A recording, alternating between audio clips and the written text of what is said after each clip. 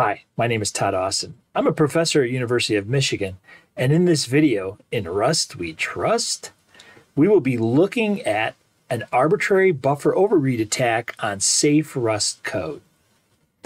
Rust code is supposed to be memory access safe, but in this video I'll demonstrate that it's actually susceptible to microarchitectural attacks. Let's get started.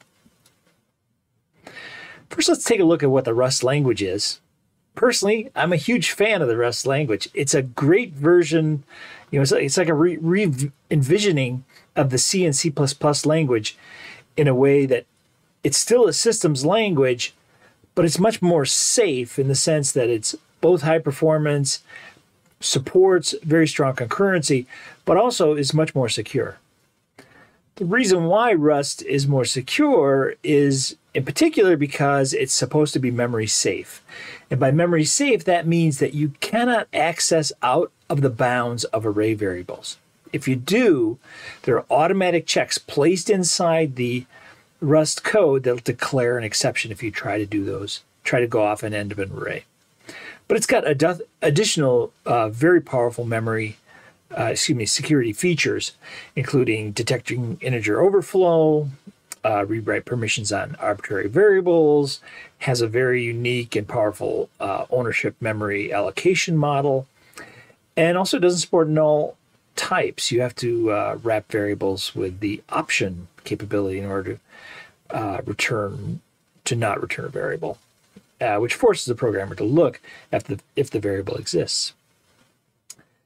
So it's a very secure language, but it's actually susceptible to uh, Spectre attacks, which is a microarchitectural attack. And I'll demonstrate that today. But first, I want to just show you uh, how that attack works. In this window, I've shown the what's called the Spectre version 1 attack gadget. This is a piece of code. This code is functionally correct, but I'm going to use the Spectre attack to get it to do a buffer overread. What a buffer overread is, is where we're going to read past the end of an array and access variable, uh, excuse me, memory data that, that, that is illegal to access in that array access. Now, this doesn't modify any memory, but it's actually a very important attack to stop because attackers will often use buffer overreads to uh, sneak out session keys or uh, AES keys, all kinds of information uh, de-randomize the address space to allow them to to do more sophisticated attacks on a program. So it's quite important to stop these. The Heartbleed uh, attack, for example, was a buffer overread attack. So in this particular uh, piece of code, when we run this code, uh, we're just going to access array one and then use the value that was returned to access array 2 and then return that value. And then the index that we're going to access in array 1 is passed by this IDX variable. So normally when we execute this with, say, uh, uh, an inbounds array index six in this case, uh, we're going to get to this little array index check because we don't want to go past the end of the array because if we do, there's a there's an there's a check inserted here by the compiler, and that check will not do it'll just basically stop the program because the, the, the Rust is not going to allow you to go past the end of that array. So we first check to see if we can go past the end of the array. And if it's a legal access, it'll go into this next line of code.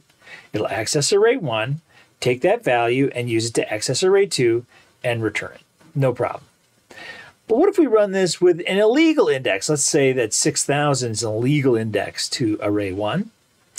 Uh, when we get to this if statement, uh, that if statement will not be true, and so we'll just return the zero value down here. Now, this is what the programmer thinks what's what's happening, and, and conceptually, this is what happens. But now let's take a look at what happens in the microarchitecture, in the underlying high-performance microprocessor that's implementing this code.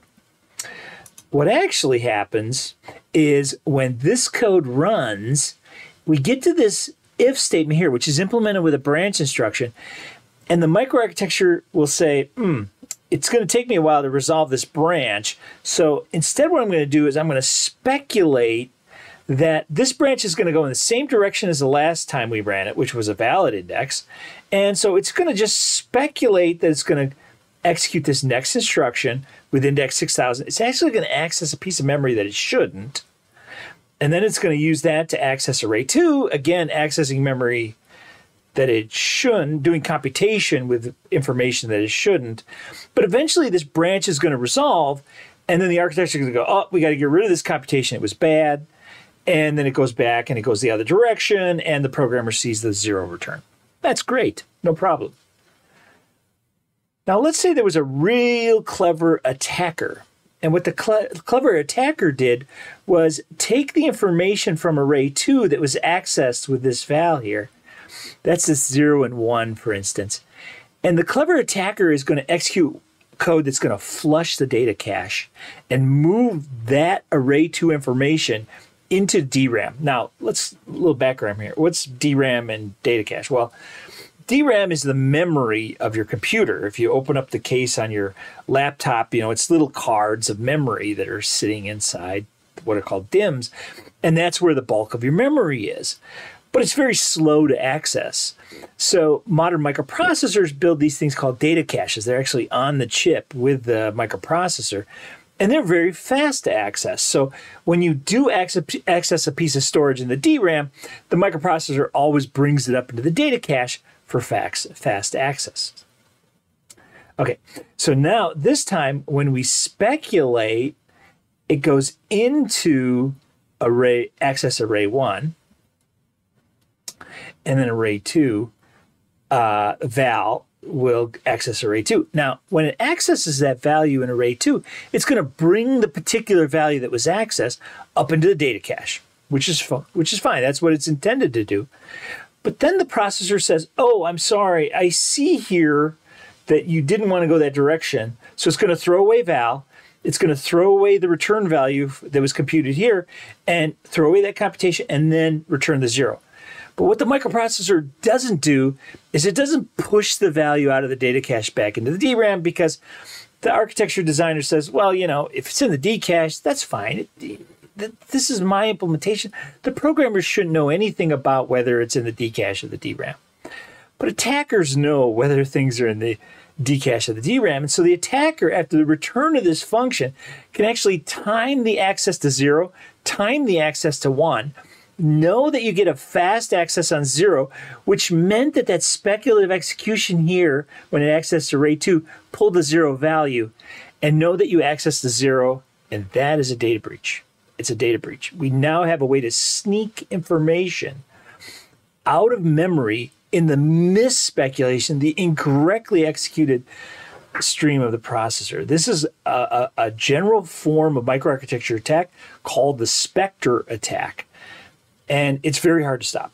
Very hard to stop. Generally, you really have to stop this inside the compiler by basically telling in the compiler that we're worried about anybody speculating uh, past this branch. So you can add what's called a fence instruction. You can tell the processor, don't speculate past this branch. To stop this in the microarchitecture, uh, you basically have to stop speculation, and that can cost a lot of performance in the microarchitecture. So there's there's a there's a lot of research both on how to implement these attacks. Also, a lot of research going on on how to stop these attacks. In general, today, though, I would say the way you stop these attacks is the compiler has to be clever about stopping these attacks. All right, so now let's take a look at an actual demo of a processor running Rust code and then using the gadget function to access arbitrary storage. This is a Spectre version 1 attack in safe Rust. The, the code that is attacking is safe Rust, which means that the code has all of the Rust bounds checking engaged. And it's using the Spectre attack to mispredict past those checks and access storage. Uh, just a quick note this um, code was developed by Christopher Felix and Doniam Benti, who are both students at University of Michigan and myself, I'm a professor at University of Michigan, and we intend to release this uh, proof of concept code. Uh, it's been disclosed to the Rust developers. As soon as that responsible disclosure period ends, we'll release this attack code.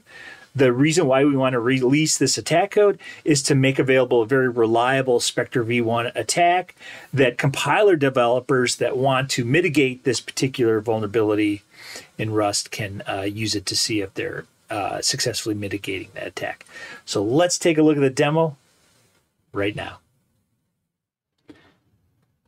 All right, let's take a look at this demo.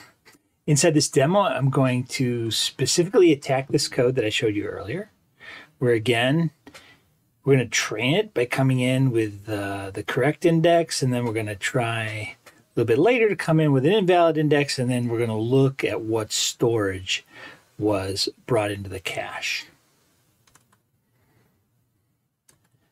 Specifically, the attack that we're using here is going to take this uh, vector variable array1. We're going to read past the end of this variable which has uh, 16 entries. Note, none of these uh, entries are printable characters. We're going to read past the end of this array to the start of this string. Uh, this string is kept in the read-only section of memory. This array is in the heap, so there's, there's a huge distance between these two variables. But we're going to look until we find this hello world, hello world, hello world uh, and we'll access that through array one. I'm not showing the rest of the code here because the code is currently not available for disclosure. Uh, we'll we'll release it once the responsible disclosure period is ended. All right. Okay, let's take a let's try running this attack and see how it works. Okay, well, it didn't work that time. Didn't see any of it. So after first iteration, if it doesn't uh, get any matches the string, it it simply stops. So let's try running this again. Oh, there it works. So why does it work sometime but not work other times? It really depends on the underlying storage alignments. Are the things that we want to displace from the cache wholly fitting within a cache line? We don't have much control over the underlying storage organization in Rust. So what we do is we just kind of randomize storage every time we run the program. Sometimes it works, sometimes it doesn't work. But here you can see it worked really well. It had 99% accuracy. Accuracy. 99 of 100 letters were read successfully. And oh, there's the one that didn't read that D, it didn't read correctly. So fantastic. That worked really well. Now, I want to do one other thing. When you release an attack like this, people say, ah, How do I know you're not just reading the characters out of the array?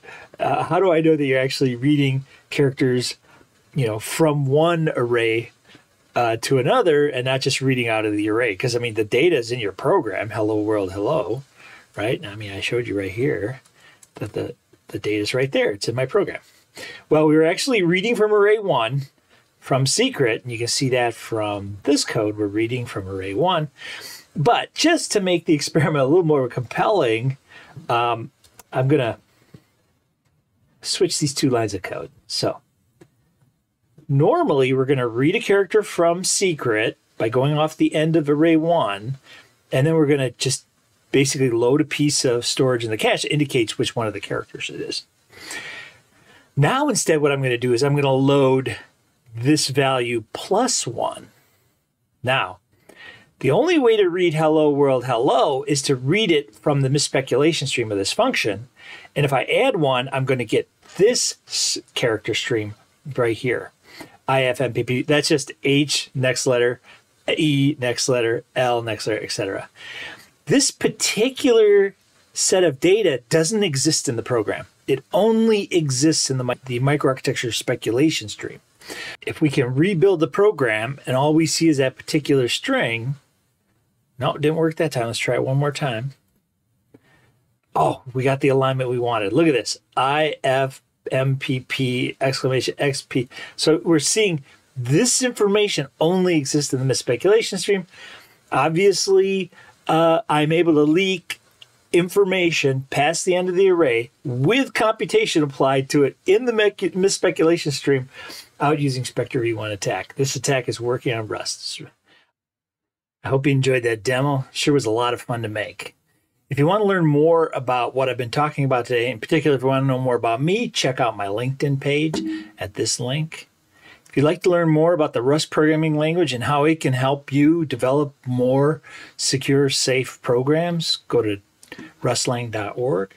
And if you'd like to learn more about Spectre microarchitectural attacks, visit the wiki page on Spectre security vulnerabilities. Thanks again for watching our demo and take care.